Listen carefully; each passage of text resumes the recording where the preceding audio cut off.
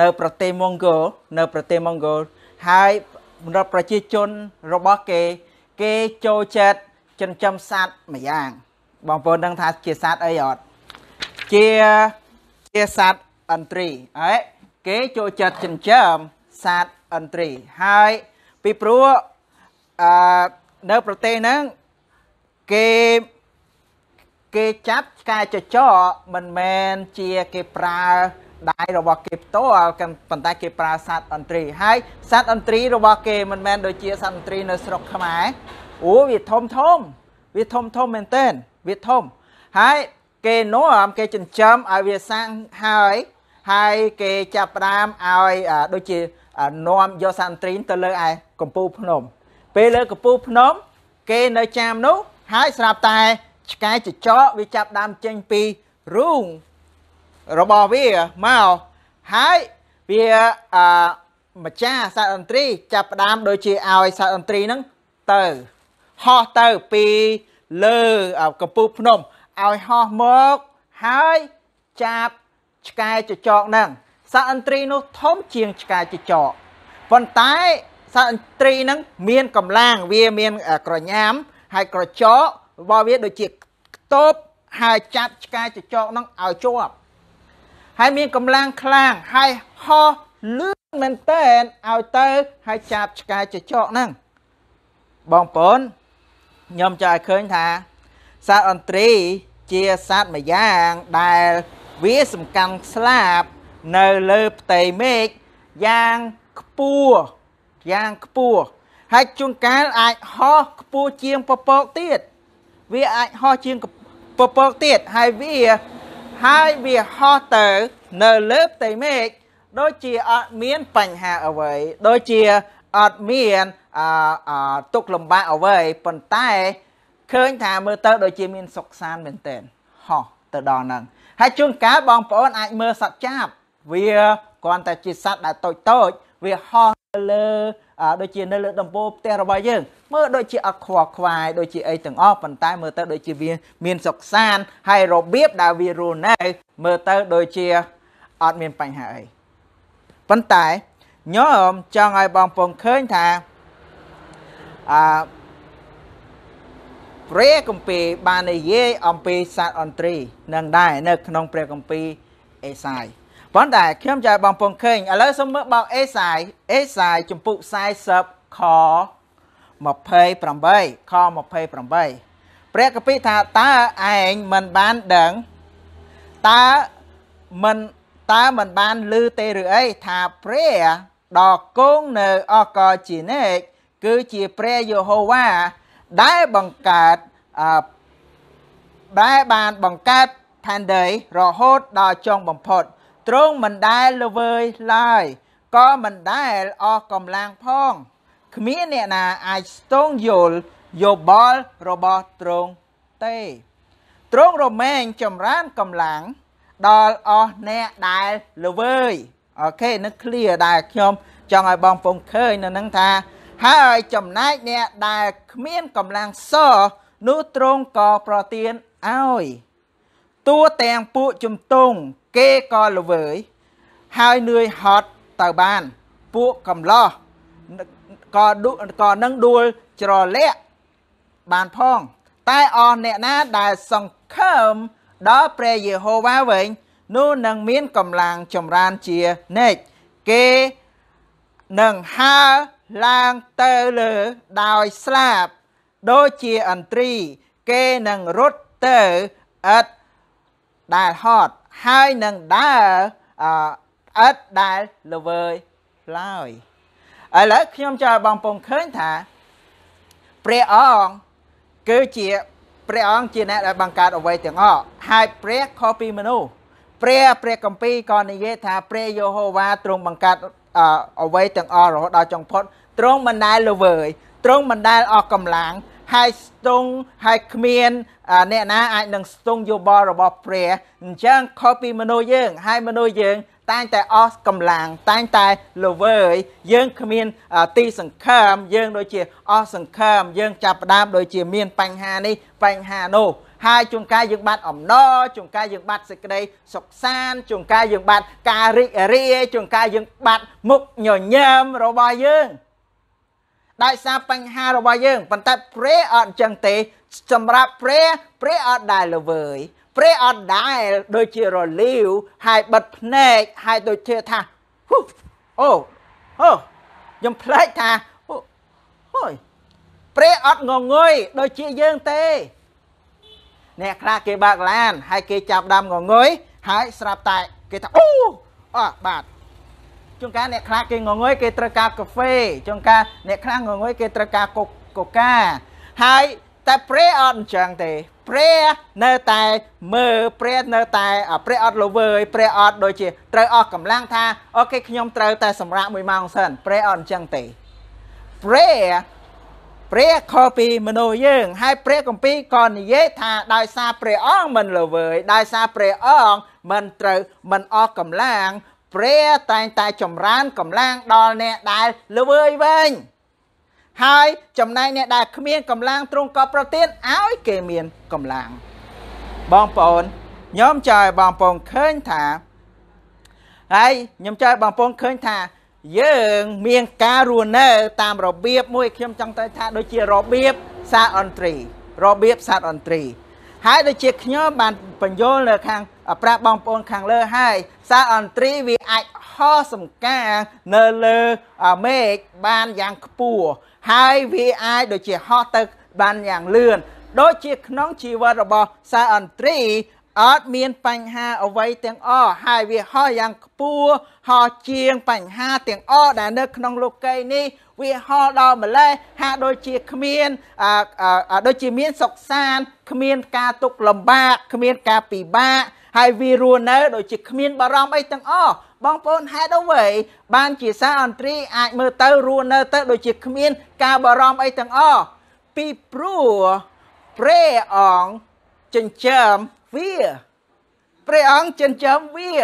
ព្រះយកព្រះតីទុកដាក់ចំពោះសត្វអន្ត្រីហើយបងប្អូនកុំច្រឡំថាអញ្ចឹងសត្វទាំងអស់ព្រះអង្គអត់យកទុកដាក់អត់ទេព្រះយកជឹកទុកដាក់ព្រះចិញ្ចឹមសត្វបែបគ្រប់បែបយ៉ាងទាំងអស់សត្វអន្ត្រីសត្វចាបសត្វព្រាប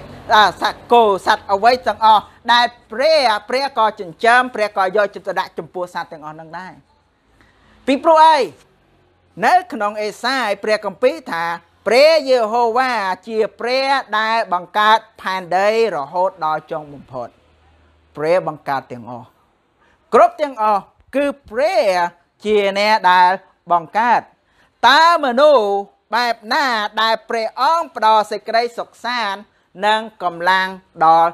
គេនោះជាសំណួរឥឡូវសូមឲ្យបងប្អូនអធិដ្ឋានជាមួយនឹងខ្ញុំហើយក្រោយយើងអានខគម្ពីរទៀតព្រះម្ចាស់ទូបង្គំ សូមឲ្យព្រះអង្គទ្រង់ជួយ ក្នុងកម្មវិធីអឺឥឡូវនេះសូមឲ្យគប់ព្រះハតីព្រះទូបង្គំត្រូវការព្រះអង្គព្រះសូមឲ្យពាក្យសម្ដីដែលចេញពីមាត់ទូបង្គំទៅ ជាអ្វីដែលត្រឹមត្រូវល្អហើយគឺជាពាក្យសម្ដីដែលជួយលើកតែសរសើរឲ្យដំកាំងព្រះអង្គសូមទ្រង់ជួយណែនាំទូបង្គំសូមទ្រង់ជួយអក្ខរា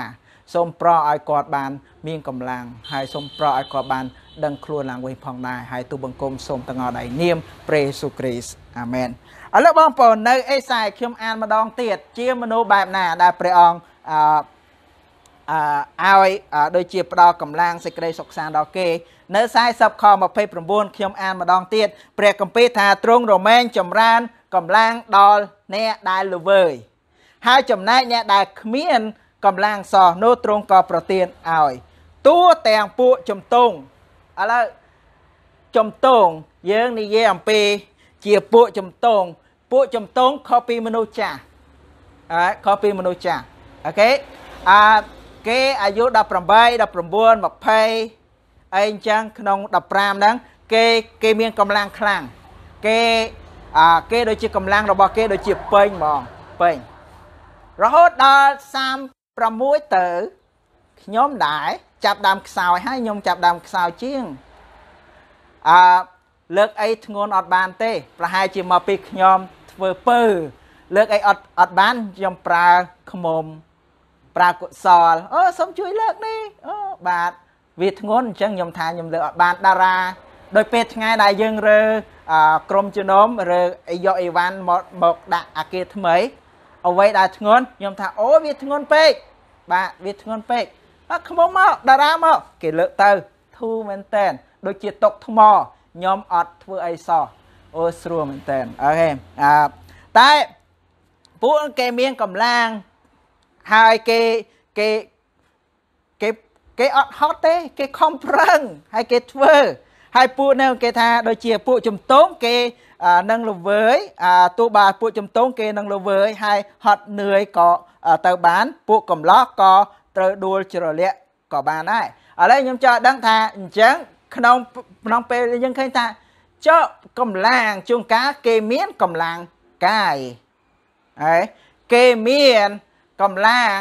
ដែលដូចជាមមមែនអាចលើករបស់ធ្ងន់ប៉ុន្តែមិនមែនមានន័យថាខាងក្នុងរបស់គេជាមានកម្លាំងក្នុងចិត្តរបស់គេជាមានកម្លាំង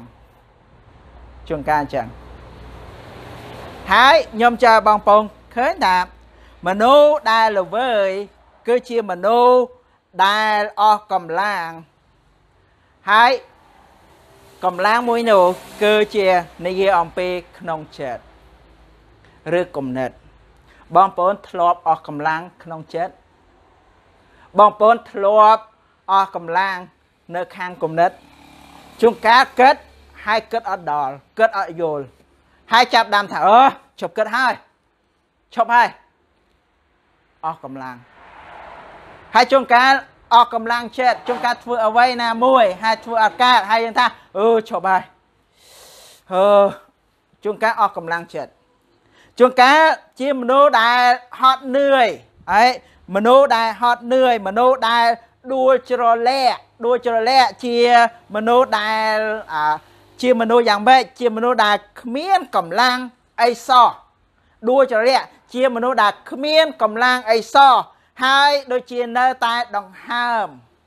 អត់ធ្វើអីអត់បាន យើងអាចនិយាយអំពីដូចជាមនុស្សដែលឈឺឧទាហរណ៍ដូចជាអក្សរាសពថ្ងៃនេះគាត់ធ្វើអីអត់កើតគាត់នៅតែលើក្រែហើយជាមនុស្សដែលដួលច្រលាក់ គាត់មានបញ្ហាធំ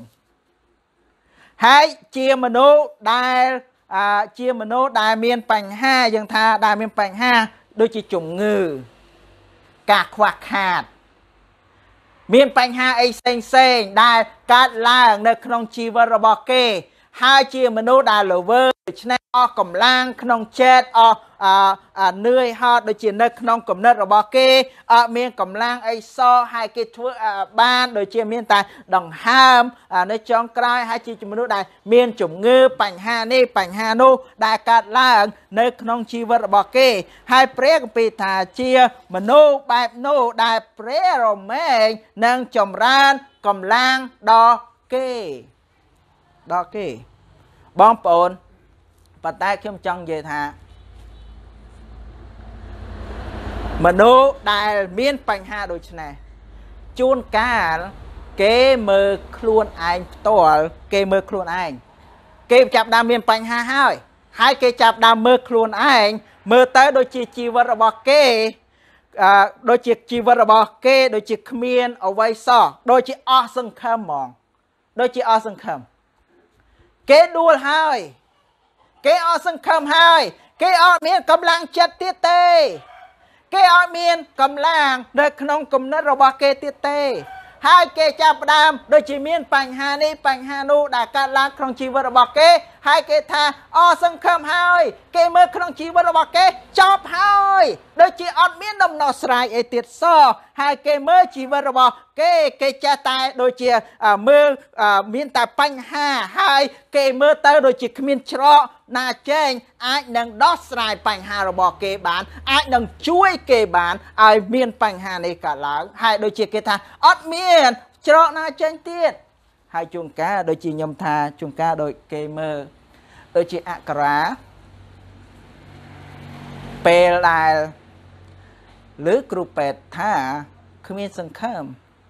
ហើយមើលទៅដូចជាអត់មានច្រកចេញមែនហើយមើលទៅថាអស់សង្ឃឹមហើយអត់ទេមិនមែនអស់សង្ឃឹមហើយខ្ញុំប្រាប់ខ្ញុំនិយាយត្រង់តួបើមានសេចក្តីស្លាប់ដែលកាត់ឡើងចំពោះគាត់នោះជាទីសង្ឃឹមរបស់គាត់នៅជាមួយព្រះនៅឯនគរឋានសួគ៌ នោះជាដំណោះស្រាយដែលល្អជាងគេ តែបើសិនជាយើងនៅតែមានដំណោះស្រាយផែនដីនេះយើងចង់តែជួយ យើងចង់តែអធិដ្ឋានយើងចង់តែ សូមព្រះឲ្យមានដំណោះស្រាយឲ្យពេទ្យមានប្រាជ្ញា ដើម្បីតែព្យាបាលគាត់ឲ្យពេទ្យឲ្យឲ្យព្រះជួយចម្រើនកម្លាំងដល់គាត់ឲ្យគាត់មានកម្លាំងឡើងឲ្យគាត់ភ្ញាក់ដឹងខ្លួនឡើង ហើយយើងកំពុងតែអធិដ្ឋានរាល់ថ្ងៃសម្រាប់គាត់ពីព្រោះយើងមានទីសង្ឃឹមទៅលើព្រះមិនមែនលើពេទ្យមិនមែនលើពេទ្យប៉ុន្តែយើងលើព្រះ ប៉ុន្តែបើសិនជាជួនកាលយើងមានសំណួរថា លោកគ្រូបើសិនជាអក្រាគាត់នៅតែអត់ជាបងប្អូនបើគាត់ស្លាប់នោះជាដំណោះស្រាយដែលល្អជាងគេ ព្រះនោះជាដំណោះស្រាយរបស់ព្រះហើយព្រះយកគាត់ទៅឋានសួគ៌នោះជាអ្វីដែលវិសេសបំផុតឋានសួគ៌កន្លែងដែលល្អសម្រាប់អក្រា ឋានសួគ៌ជាកន្លែងល្អដែលល្អសម្រាប់ខ្ញុំសម្រាប់ប្រពន្ធសម្រាប់បងប្អូន ដែលអ្នកជឿដល់ព្រះអង្គជាកន្លែងដែលវិសេសបំផុតមិនមែនផែនដីនេះឋានសួគ៌ល្អណាស់ឋានសួគ៌វិសេសអស្ចារ្យតែបងប្អូនញោមចៅឲ្យបងប្អូនឃើញថាជួនកាលយើងខ្លួនឯងផ្ទាល់យើងមើលទៅ ដូចជាជីវិតរបស់យើង ដូចជាមើលទៅគ្មានទីសង្ឃឹម ហើយយើងមើលទៅជីវិតរបស់យើង ដូចជាថាបាត់អ្វីទាំងអស់បាត់ហើយចប់ជួនកាលយើងបាត់អំណរជួនកាលយើងធ្លាប់តែញញើមប៉ុន្តែពេលយើងចាប់ដើមមានបញ្ហាកើតឡើង ហើយយើងគិតពីបញ្ហារបស់យើង ដែលកើតមានឡើងចំពោះខ្លួនហើយយើងចាប់ដើមបាត់អំណរ យើងចាប់ផ្ដើមបាត់សេចក្តីសុខសាន្តយើងចាប់ផ្ដើមបាត់ទីសង្ឃឹមហើយយើងមានតែការទុកព្រួយ យើងមានតែការខ្វល់ខ្វាយយើងមានតែមុខក្រញើទៅណាក៏ដោយមុខក្រញើដោយអស់សង្ឃឹមហើយជួនកាលយើងបងប្អូននោះមនុស្សគេគិតអំពីបញ្ហាខ្លួន ហើយពេលគេកើតអំពីបញ្ហារបស់ខ្លួន គេចាប់ដាំមនុស្សដែលល្វើយដូច្នេះគេចាប់ដាំកើតអំពីបញ្ហារបស់ខ្លួន ហើយគេឃើញបញ្ហារបស់ខ្លួនធំជាងបញ្ហារបស់អ្នកដតីទាំងអស់ទោះដល់បញ្ហារបស់គេទូចក៏ដោយគេថាបញ្ហាខ្ញុំធំមែនទែនតែជួនកាលបញ្ហារបស់អ្នកដតីធំជាង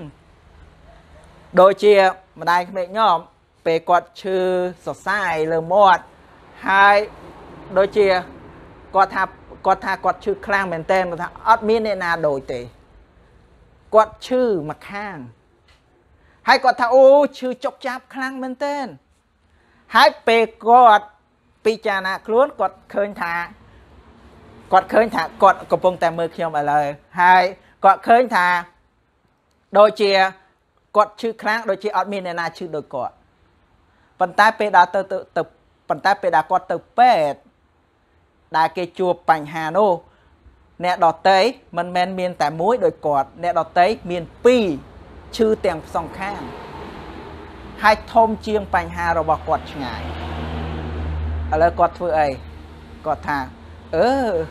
ឥឡូវអ្នកដតីឈឺខ្លាំងជាងគាត់ទៀតឥឡូវគាត់មិនមែនតែឃើញបញ្ហាគាត់ធំប៉ុន្តែអ្នកគាត់ឃើញបញ្ហារបស់អ្នកដតីធំជាងដែរ ហើយជួនកាលពេលយើងគិតអំពីបញ្ហា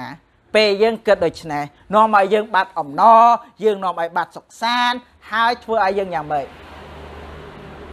ធ្វើឲ្យយើងចាប់ផ្ដើមថាបញ្ហារបស់ខ្លួនធំបំផុតឥឡូវខ្ញុំចង់ឲ្យបងប្អូនឃើញមួយទៀតថាជួនកាលអ្នកយើងផ្ទាល់ជួនកាលជាយើងដែលឃើញបញ្ហារបស់អ្នកដតីហើយថាជីវិតរបស់អ្នក ដតីជីវិតរបស់គេពិបាកគ្មានសង្ឃឹមអីសោះដូចជាខ្ញុំលើដូចជាលើថាពេទ្យគេថាអាក្រាអត់មានទីសង្ឃឹមពេទ្យឃើញផ្ទាល់នឹងភ្នែកក៏ឃើញអាក្រៅអត់មានទីអត់អត់អត់សង្ឃឹមហើយហើយពេលយើងលឺដូច្នេះ ដែរពេលយើងចាប់ដើមលឺដូច្នេះអំពីបញ្ហារបស់គេយើងថាអូមែនហើយគេអស់សង្ឃឹមគេអស់សង្ឃឹមពេលយើងចាប់ដើមឃើញបញ្ហារបស់យើងគេយើងថាគេអស់សង្ឃឹមហើយចាប់ដើមថាម៉េចគេពិបាកចាប់ដើមថាម៉េចគេចាប់ដើមថាម៉េចគេគេចាប់ដើមដូចខ្វល់ខ្វាយជំនួសអ្នកដទៃវិញប៉ុន្តែបងប្អូន កាលណាយើងខំឲ្យដោះស្រាយបញ្ហារបស់យើងឬដោះស្រាយបញ្ហារបស់អ្នកដទៃដោយការខ្វល់ខ្វាយវាអត់ជួយ យើងខំយើងខំដោះស្រាយបញ្ហាខ្លួនឬបញ្ហាដតីអ្នកដតីដោយការខ្វល់ខ្វាយវាអត់ជួយទេ យើងខំដោះស្រាយបញ្ហារបស់ខ្លួនឬអ្នកដតីដោយតាមគំនិតរបស់ដោយតាមគំនិតរបស់ខ្លួន វាអត់ជួយទេឬយើងខំដោះស្រាយបញ្ហារបស់អ្នកដតីដោយប្រើវិធីរបស់លោកីទៅមើលគ្រូទាយទៅមើលរឹកស្រោចទឹក ឬក៏ធ្វើតាមគំនិតរបស់លោកីថាអូគេប្រាថ្នានេះប្រានេះអីផ្សេងផ្សេងមកហើយតាមគំនិតរបស់លោកីបងប្អូនវាអត់ជួយទេហើយយើងខំដោះស្រាយបញ្ហារបស់របស់លោកីរបស់ខ្លួនឬអ្នកដតីដែលខំប្រឹងឲ្យរកទៅជាមើលតាម Facebook មើលបកែនេះមើលរបៀបគេព្យាបាលដូច្នេះដូច្នេះវាអត់ជួយទេបញ្ហា ដំណោះស្រាយរបស់យើងអឺមិនមែនជាការខ្វល់ខ្វាយដំណោះស្រាយរបស់យើងមិនមែនជាតាមគំនិតរបស់យើងមិនដំណោះស្រាយរបស់យើងមិនមែនជាវិធីរបស់លោកីប៉ុន្តែដំណោះស្រាយរបស់យើងគឺជាព្រះគ្រីស្ទព្រះគ្រីស្ទគឺជាដំណោះស្រាយរបស់យើង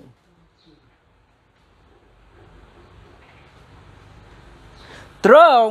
មានអំណាចព្រះចេស្តាទ្រង់ ជាអ្នកដែលគ្រប់គ្រងទ្រង់ដែលបង្កើតព្រះគម្ពីរអេសាយ40បាននិយាយហើយព្រះយេហូវ៉ាទ្រង់បានបង្កើតផែនដីទាំងមូលហើយព្រះដែលបង្កើតគ្រប់ការទាំងអស់ហើយទាំងអស់ស្ថិតនៅព្រះហស្ថរបស់ព្រះគ្រប់ទាំងអំណាចបានមកប្រទានដល់ព្រះអង្គហើយព្រះគ្រប់ទាំងអស់ស្ថិតនៅក្នុងព្រះហស្ថរបស់ព្រះអង្គ គ្រប់ទាំងអស់ព្រះគ្រប់គ្រងទាំងអស់ចឹងជំងឺបញ្ហាឬការល្វើយការទុកលំបាកអីកើតឡើងនោះមិនមែនជាដំណោះស្រាយដែលយើងត្រូវដោះស្រាយខ្លួនឯងប៉ុន្តែ គឺជាព្រះដំណោះជាដំណោះស្រាយរបស់យើង ព្រះជាដំណោះស្រាយរបស់យើងដូច្នេះបងប្អូនបញ្ហារបស់ព្រះអង្គបញ្ហារបស់ព្រះអង្គមិនមែនជាអ្វីដែលពិបាក សម្រាប់ព្រះអង្គទេអញ្ចឹងខ្ញុំចង់ចង់ទៀតអឺក្រែកបងប្អូនច្រឡំបញ្ហាបញ្ហាគ្រប់បញ្ហាទាំងអស់មិនមែនជាអ្វីដែលពិបាកសម្រាប់ព្រះអង្គទេមិនមែនជាអ្វីពិបាកសម្រាប់ព្រះអង្គបងប្អូនបងប្អូនអាចដោះស្រាយបញ្ហានោះបាន បងប្អូនត្រូវរកព្រះអង្គដែលធំជាងបញ្ហារបស់យើងព្រះធំជាងបញ្ហារបស់យើងឥឡូវអេសាយខ្ញុំអាននោះម្ដងទៀតខគម្ពីរនេះល្អដែរល្អ40ខ29នេះលើកទី3ដែលខ្ញុំអានខគម្ពីរនេះហើយក្នុងមេរៀននេះទ្រង់រមែងចម្រើនកម្លាំងដល់អ្នកដែលល្វើយហើយចំអែត អ្នកដែលគ្មានកម្លាំងសោះនោះទ្រង់ក៏ប្រទានឲ្យតួទាំងពួកចំតងគេនឹងលវើយហើយនឿយហត់ទៅពួកកំឡោះក៏នឹងដួលច្រលាក់បានផងបងប្អូនខ្ញុំចង់បងប្អូនឃើញថាខ្ញុំតែមានសំណួរថាតើបងប្អូនធ្លាប់លវើយឬទេតើបងប្អូនធ្លាប់លវើយឬទេហើយបើធ្លាប់ នោះហើយជាម្នាក់ដែលព្រះអង្គចង់កំសាន្តចិត្តតើបងប្អូនធ្លាប់នឿយហត់ឬទេ នោះហើយជាម្នាក់ដែលព្រះអង្គចង់តែកំសាន្តចិត្តចង់តែដូចជាប្រទៀនកម្លាំងឲ្យតើបងប្អូនធ្លាប់ធ្លាក់ទឹកចិត្តឬទេនោះជាម្នាក់ដែលព្រះអង្គចង់តែកំសាន្តចិត្តគេតើបងប្អូនធ្លាប់ដួលច្រលាក់ទេ ដែលដូចជាថា អង្គខើមហើយដូចជាដូចជាមានដូចជាកេងហើយអស់កម្លាំងហើយដូចជាអូថាអស់ចប់ហើយហើយដួលច្រលាក់ឬទេនោះជាម្នាក់ដែលព្រះអង្គចង់តែលើកគ្រាឡើងតើបងប្អូនធ្លាប់អស់សង្ឃឹមឬទេបើបងប្អូនធ្លាប់អស់សង្ឃឹមនោះជាម្នាក់ដែលព្រះអង្គចង់តែលើកទឹកចិត្តឡើងព្រះអង្គចង់តែកំសាន្តចិត្ត ព្រះអង្គចង់តែលើកទឹកចិត្តនិងជួយគ្រាពេលដែលយើងដួលទ្រង់ចង់តែប្រទានកម្លាំងដល់យើងទ្រង់ក្នុងពេលដែលយើងមានបញ្ហាហើយយើងបានស្វះស្វែងរកព្រះអង្គអេសាយ40ខ31តែ អស់អ្នកណាដែលសង្ឃឹមដល់ព្រះយេហូវ៉ាវិញនោះនឹងមានកម្លាំងចម្រើនជាច្រើនគេនឹងហើរឡើងទៅលើដោយស្លាបដូចជាអន្ត្រី គេនឹងរត់ទៅឥតដែលហត់ហើយនឹងដើរឥតដែលល្វើយឡើយបងប្អូនយើងត្រូវស្វែងរក ព្រះអង្គពេលដែលបងប្អូនចង់ឲ្យព្រះកំសាន្តចិត្តបងប្អូនចង់ឲ្យព្រះលើកទឹកចិត្តបងប្អូនចង់ឲ្យព្រះគ្រាយើងក្នុងការដែលយើងដួល បងប្អូនចង់ចង់ឲ្យព្រះអង្គលើកទឹកចិត្តក្នុងគ្រាដែលយើងកំពុងតែអស់សង្ឃឹមបងប្អូនចង់ឲ្យព្រះដូចជាផ្ដល់កម្លាំងប្រទានកម្លាំងក្នុងការដែលយើងមានអារម្មណ៍ថាហត់នឿយនៅក្នុងចិត្តហត់នឿយនៅក្នុងគំនិតរបស់យើង បងប្អូនចង់ឲ្យព្រះអង្គកំសាន្តចិត្តនៅពេលណាដែលបងប្អូនចាប់ដាំលើវើយចាប់ដាំធ្លាក់ទឹកចិត្តបញ្ហានេះបញ្ហានោះដែលកើតឡើង ហើយក្នុងពេលវេលានោះបើបងប្អូនចង់អញ្ចឹងបងប្អូនគួរតែចាប់ផ្ដើមឲ្យស្វះស្វែងរកព្រះឲ្យរកព្រះ ហើយបងប្អូនខ្ញុំចង់ខ្ញុំចង់ប្រាប់ថាបើសិនជាបងប្អូនមានបញ្ហានេះកើតឡើងហើយនៅក្នុងជីវិតរបស់បងប្អូនហើយបងប្អូនចាប់ផ្ដើមឲ្យថយចេញពីព្រះបងប្អូនចាប់ផ្ដើមឲ្យជាកាន់តែឆ្ងាយជាងឆ្ងាយជាងនោះមិនមែនជាអ្វីល្អសម្រាប់ជីវិតបងប្អូនទេហើយនោះធ្វើឲ្យបងជីវិតរបស់បងប្អូនកាន់តែពិបាកជាងតែពេលមានបញ្ហា ពេលអស់កម្លាំងពេលល្វើយនៅក្នុងចិត្តពេលអស់កម្លាំងនៅក្នុងចិត្តនៅក្នុងក្នុងគំនិត ពេលយើងចាប់ផ្ដើមដួល ជាពេលវេលាឲ្យយើងកាន់តែចូលទៅចិត្តព្រះខ្លាំងជាងមុនតទៅទៀតបងប្អូនជួនកាលយើងថាអើជំងឺ Covid សពថ្ងៃនេះពិបាកនៅស្រុកខ្មែរហើយមែនខ្ញុំទទួលស្គាល់ពិបាកមែនហើយវាពិបាក ហើយយើងអត់មានក្រុមជំនុំទៀតយើងអត់ដូចជា ប្រជុំជួបជុំគ្នាបានទៀតបងប្អូនពេលវេលានេះមិនមែនជាពេលវេលាឲ្យបងប្អូនហើយនឹងខ្ញុំឆ្ងាយពីព្រះអង្គតែពេលវេលានោះជាពេលវេលានេះឲ្យយើងកាន់តែចិត្តស្និទ្ធចំពោះព្រះហេតុអ្វីបងប្អូននឹងស្វែងរកព្រះហើយ បងប្អូននឹងអធិដ្ឋានទៅព្រះអង្គច្រើនជាង បងប្អូននឹងនិយាយទៅកាន់ព្រះអង្គច្រើនជាងមិនមែនជាពេលវេលាឲ្យបងប្អូនឃ្លាតឆ្ងាយពីព្រះទេតែជាពេលវេលាឲ្យបងប្អូនចិត្តព្រះ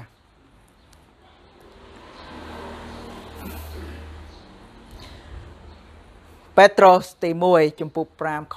7ព្រះគម្ពីរថា ហើយចូលផ្ទេគ្រប់ទាំងសេចក្តីទុកព្រួយរបស់អ្នករាល់គ្នា ទៅលើទ្រង់ត្បិតទ្រង់តែងយកព្រះតីទុកដាក់នឹងអ្នករាល់គ្នា បងប្អូនឃើញទេបងប្អូនឃើញអត់បងប្អូនត្រូវធ្វើអីបើបងប្អូនចង់ឲ្យមានសង្ឃឹមបងប្អូនចង់ឲ្យព្រះជួយ បងប្អូនត្រូវផ្ទេគ្រប់ទាំងសេចក្តីទុកព្រួយទៅលើព្រះព្រះអង្គហើយកុំឲ្យកើត ការពិបាកឬបញ្ហានោះតទៅទៀតបើបញ្ហាដែលកើតឡើងថ្ងៃនេះវាល្មមហើយយើងផ្ទេទៅព្រះយើងមិនចាំបាច់ឲ្យថាបើខ្ញុំទៅព្រះអង្គហើយខ្ញុំនៅតែពិចារណាខ្ញុំនៅតែគិតអំពីបញ្ហានោះតទៀតអត់អីទេបងប្អូននោះបងប្អូនត្រូវតែដឹងថាបើបងប្អូនគិតដូច្នេះបងបងនៅតែគិតចិត្តបញ្ហានោះវាកើតឡើងនៅតែអីខ្វល់ខ្វាយដដែល ហើយបងប្អូនថាអត់អីបើសិនជាខ្ញុំទេទៅព្រះហើយខ្ញុំនៅតែគិតបានអត់ទេអញ្ចឹងមានន័យថាបងប្អូនគ្រាន់តែទេទៅព្រះ50%បងប្អូនទុក50%ទុកខ្លួនឲ្យនៅតែពិបាកប៉ុន្តែបើសិនជាបងប្អូនទេទាំងអស់ទៅព្រះអង្គបងប្អូនអត់ពិបាកទេ ហើយបងប្អូនចាប់ដើមមុខញញឹមបងប្អូនចាប់ដើម ដូចជាមានសុខអំណរបងប្អូនចាប់ដើមមានសុខសាន្តបងប្អូនចាប់ផ្ដើមដូចជាមុខរីករាយ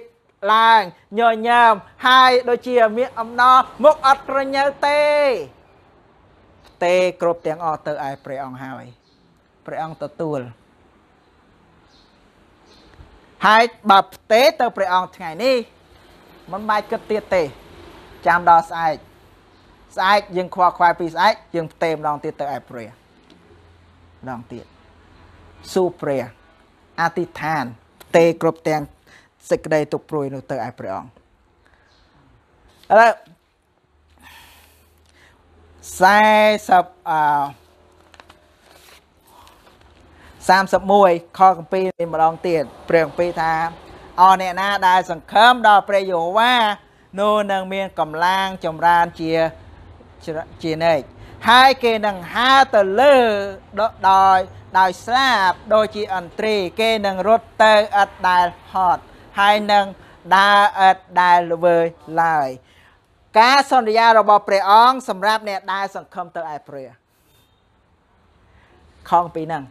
ពេលបងប្អូនសង្ឃឹមទៅដល់ព្រះព្រះគម្ពីរសន្យាហើយព្រះអង្គសន្យាហើយនឹងមានកម្លាំងជានិច្ចនឹងហើឡើងទៅ ទៅលើដោយស្លាបដូចជាអន្ត្រីឥឡូវខ្ញុំចង់ប្រាប់ម្ដងទៀតសារអន្ត្រីវាអឺវាមានវាកម្លាំងវាហើទៅវាដូចជាអខ្វល់ខ្វាយអីសោះហើយបងប្អូនខ្ញុំចង់ជឿថាបងបងប្អូនត្រូវតែដូចជាអឺត្រូវតែមានកម្លាំងពីព្រោះបងប្អូនសង្ឃឹមដល់ព្រះបងប្អូននៅតែអាចមានសុខសាន្តដោយសារបងប្អូនសង្ឃឹមដល់ព្រះបងប្អូនមានអំណរ មុខញញឹមដោយសារបងប្អូនសង្ឃឹមដល់ព្រះបងប្អូនអត់តូចតែទៀតដោយសារបងប្អូនផ្ទេគ្រប់ទាំងអស់ទៅឲ្យព្រះអង្គហើយហើយយើងចេះតែសប្បាយពីព្រោះព្រះជាដំណោះស្រាយរបស់យើងព្រះជាទីសង្ឃឹមរបស់យើងព្រះជាអ្នកដែលយកសេចក្តីទុក្ខព្រួយរបស់យើងទៅឲ្យព្រះអង្គយើងមានសង្ឃឹមបងប្អូន ទំនុកដង្កើង9 10ព្រះគម្ពីរថាអរអ្នកណាដែលស្គាល់ព្រះនាមទ្រង់គេនឹងទុកចិត្តដល់ទ្រង់ត្បិតអោព្រះយេហូវ៉ាអើយទ្រង់មិនបានបបង់ចោលពួកអ្នកដែលស្វែងរកទ្រង់ឡើយឃើញហ៎ត្បិត សំទោម្ដងទៀតទ្រង់មិនបានបបង់ចោលពួកអ្នកដែលស្វែងរកទ្រង់ឡើយព្រះមិនបបង់អ្នកណាដែលស្វែងរកទ្រង់ឥឡូវខ្ញុំក្នុងពេលវេលាដែលបងប្អូនពិបាក ក្នុងពេលវេលាដែលបងប្អូនមានទុកព្រួយ មានបញ្ហាដែលកើតឡើងនេះដូច្នេះទាំងអស់កើតក្នុងជីវិតរបស់បងប្អូន បងប្អូនមានតែនេះសង្ឃឹមដល់ព្រះ បងប្អូន ជាអ្នកដែលត្រូវស្វែងរកព្រះអង្គហើយនោះជាព្រះអង្គព្រះគម្ពីរថាទ្រង់មិនបបង់ចោលអ្នកដែលស្វែងរកព្រះអង្គទេ ព្រះអង្គមិនបបង់ចោលព្រះអង្គយកព្រះតីទុកដាក់ព្រះអង្គ យកចិត្តទុកដាក់ចំពោះយើង ព្រះតែងតែមើលយើង ព្រះមិនដែលល្វើយព្រះមិនដែលអស់កម្លាំងព្រះតែងតែយកប្រតិទុកដាក់ចំពោះយើងដូច្នេះបងប្អូន មានតែមួយយ៉ាងដែលមានតែមានតែបញ្ហាមានតែដំណោះស្រាយតែមួយ ជាយើងទៅតែសង្ឃឹមទៅដល់ព្រះជាយើងជាអ្នកដែលត្រូវផ្ទេគ្រប់ទាំងសេចក្តីទុកព្រួយដល់ព្រះ ជាយើងដែលត្រូវតែស្វែងរកព្រះអង្គ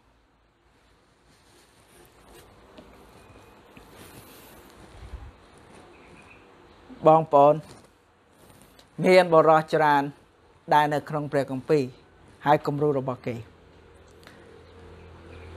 ពេលគេមានបញ្ហាកើតឡើងពបងប្អូនចាំសាវកពរហើយសិលានៅក្នុងគុកកិច្ចការចំពោះ16ពេលគាត់ជាប់គុកនៅគុកជ្រៅ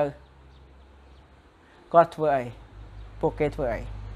គេច្រៀងសរសើរព្រះអង្គ គេគេអធិដ្ឋានហើយនិយាយតំណាក់តំណងទៅព្រះនោះជាវិធីដោះស្រាយរបស់គេដានីយ៉ែលដែលនៅក្នុងរោងសើងពេលគាត់នៅរោងសើងគាត់មិនមែនដូចជាចាប់ដើមថាអូខ្ញុំងាប់ហើយអូខ្ញុំពិបាកហើយអត់ទេដានីយ៉ែលអធិដ្ឋានទៅព្រះអង្គតទៅទៀតហើយដានីយ៉ែលនៅតែមានទីសង្ឃឹមទៅលើព្រះអង្គ សាត្រាមេសាអាបេនេកោ គេដឹងហើយថាពេលគេអត់ថ្វាយបង្គំដល់រូបព្រះដែលស្ដេចឲ្យឲ្យគេថ្វាយបង្គំរូបព្រះធំហ្នឹងគេដឹងហើយថាស្ដេចនឹងបោះគេចូលទៅក្នុងគុកភ្លើងឬយ៉ាងថាជាឡភ្លើងឲ្យចូលក្នុងហ្នឹងឲ្យឆេះទៅ គេដឹងហើយ ប៉ុន្តែគេមិនព្រមស្ដាប់បង្គាប់ស្ដេចគេស្ដាប់បង្គាប់ព្រះហើយគេដឹងថាទោះយ៉ាងណាក៏ដោយព្រះនឹងជួយគេបាន ហើយពេលគេបោះចូលមែនហើយព្រះជួយគេបាន គេសង្ឃឹមដល់ព្រះបងប្អូន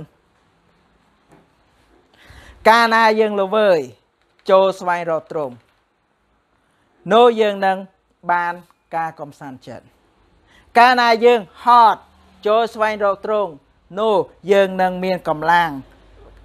កាន់យើងនឹងមានកម្លាំងចម្រើនឡើងនៅក្នុងព្រះអង្គកាលណាដែលយើងដួលចូលស្វែងរកទ្រង់នោះទ្រង់នឹងលើកយើងឡើងនឹងគ្រាយើងឡើង